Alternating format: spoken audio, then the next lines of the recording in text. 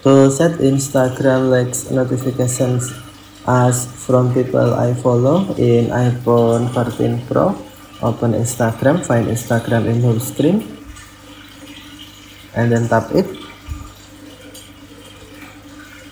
Next tap account icon, and then tap more icon or the line icon, select settings,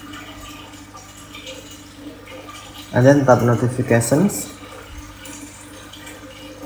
on push notifications select post uh, post stories and comments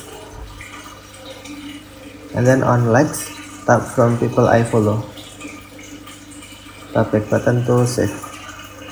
Okay thank you for watching. Have a nice day